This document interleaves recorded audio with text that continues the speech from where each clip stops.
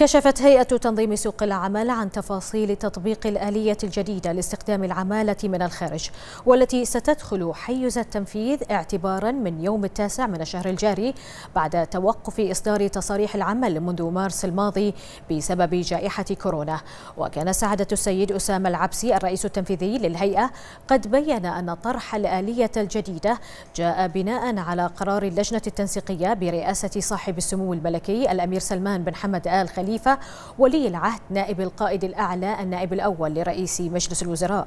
مشيرا في الوقت عينه على أن تنفيذ هذه الآلية يعتمد على استمرار هيئة تنظيم سوق العمل في نشر إعلانات الوظائف الشاغرة داخل مطبوعات الصحف المحلية بشكل يومي ولمدة أسبوع كامل حتى يتاح لجميع الباحثين عن العمل من المواطنين والعمالة المتوفرة في السوق المحلي الاطلاع عليها والتقدم إليها.